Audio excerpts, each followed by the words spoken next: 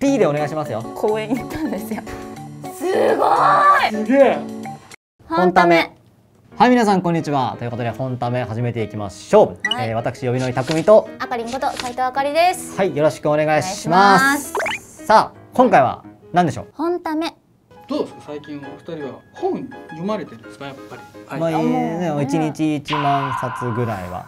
そうですね。小学生みたいな桁出ましたね今。触れたものはすべて読むぐらいの感じで生きてますから、活字中毒ってやつですよね。そうですね、ちなみに一番読まれてた時期っていつですか？時期はもういつも今うん。その瞬間じゃないですかね。今うん僕も今も読んでますから。あの背景に見える文字とか全部今読んでますから。確かに確かに。説明書の裏とか全部読んじゃいますからね。全部読んじゃいますから本当に。本当に。ちょっとですね、はい。あの以前相談させてもらったかもしれないんですけど、はい。昔読んですごく感動した小説、ちょっと本もなくしちゃって忘れちゃったんですよ、ああよくね。悲しいそれはでもまうんああるあるの辛い話ですわ。でもタイトルだけ覚えてて、でまああの著者もあの有名な方なんですはいはいはい普通の愛っていう小説ちょっと内容を教えていただけないかな、いうん。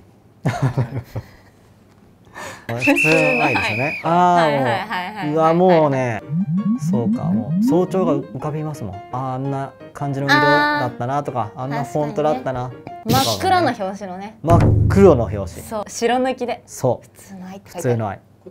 著者が本当に有名な方だったんで、はい。小説以外のところで。はい。はいはいはいはい、うんあの人のあの時期のうん時にあれ書いてたなっていうのうんだからその人の幼馴染の方が本の表紙デザインしたんですね確かね。そうなんですか？そういうところから始まってますから。あもうそこからその愛っていうものを表現しているってことですか？そうですそうです。あ詳しいですね。もう本当ですよ。ファンなんですか？ファンです。ファンですよえファンだったんですか？あファンです。ですね、じゃあ僕と一緒だ。ああよかった、へーそんな嬉しいな。それじゃあ小説以外の活動も好きっていうことですね。それ以外のとこ大体追ってますね。あのライブとかもじゃあ行かれたんですね行きました。もう地下の頃から行ってますよ。もう。あすごいファンですね。本当に。あの人ご自身の今までのその愛を向けたものっていうものをテーマにした短編集ですよね。ほんもうそう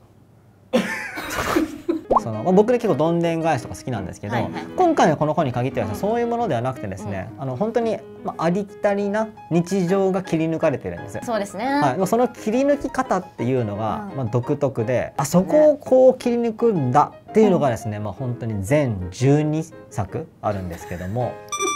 結構だって分厚かったですもんね。こう結構ありますからね。がまあまあ普通の短編だとしてもね12作結構ですね、うん。ちょっと多めですけどね。そうそう。まああれですもんね。こう愛って言っても、うん。恋愛的な意味だけじゃなくてはい、ペットとか。うん、やっぱそういう。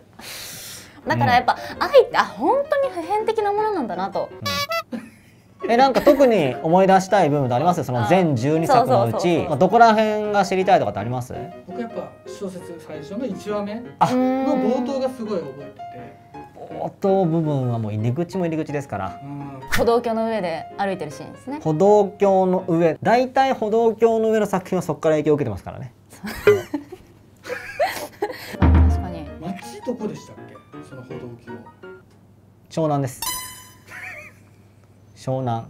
湘南のね海が見える。海が見えますからね。歩道橋ね。はい。まあ、別の活動をね追っかけ匠さんをはい。あはいはい、はい。地下から。はい。その追っかけから僕も小説に入ったんですおお。うん。同じタイプだそうまあ追っかけっていうかまあ好きで僕は、うん。そこについての活動小説以外の活動をちょっと一緒に思い出したいなとああまあいろいろ本当にねうん。多岐にわたって活動されてますけど、僕が一番すごいなって思うのは、まあ、やっぱ建築？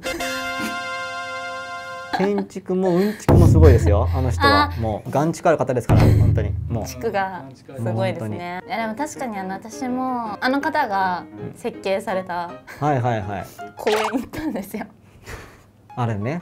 歩道橋のすぐそこにあるそうそうそうそうそうそう。聖地巡りみたいなのって楽しいじゃないですか。さ楽しい。いこや作ちゃいます品そう聖地ね巡礼。あそこに行かないと分かんなかった空気感とかはうんやっぱ、あってなりましたね。行ったことあります？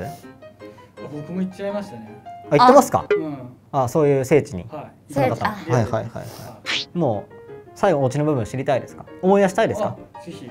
P でお願いしますよ。あそうですよ。ここはやっぱね。これ僕ねうん。全12作って言ったじゃないですか。でもねこれね作品11作しか載ってないんですよ。気づきました？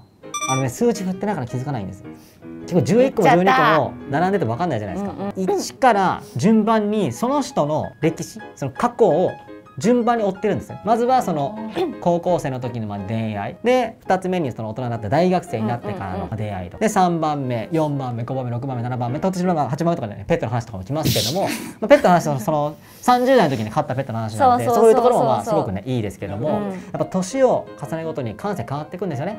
でそこで最後にですね11作目が本を書くと決まったお話じゃないですかその出版社決めてくれた出版社の方、編集者の方への愛が書かれてますよね。確かにそこでその物語急に終わるんです。ドンあれ？12番目はどこにあるんだと思いますよね。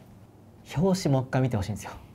黒って言ってたはい。うんあれのね左下に12って書いてあるんですよ。本自体がそうなんです。最後にその作家さんが愛を注いだもの、それは何ですか？一番最後にやってることは何ですか？本の執筆ですよ。本の出版ですよ。12番目の愛はですね、その本、普通の愛にこそ込められてたんです。いや絶対 P だな。いやーもうこれはね短編と見せかけた壮大なストーリーですか？ら。あの本自体は好きですけどやっぱそこまでこう深く読んだことはなかったんでちょっともう一回読もうと思いますタイトルもダブルミーニングなの気づいてます？皆さん。いないなあんまりこれ普通の愛。うんだから今言ったんですよ。僕あのその作家自身の今までの歴史書いてあったんですよね。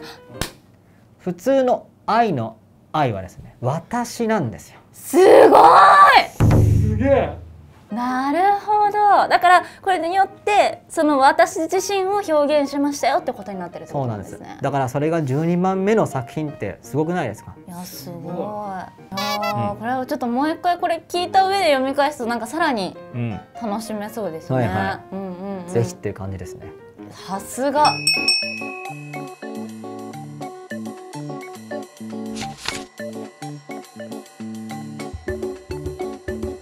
あのちょっと12確認してもいいですか？はいどうぞ。なかったですね12ああこれあのブラックライトが必要なんだ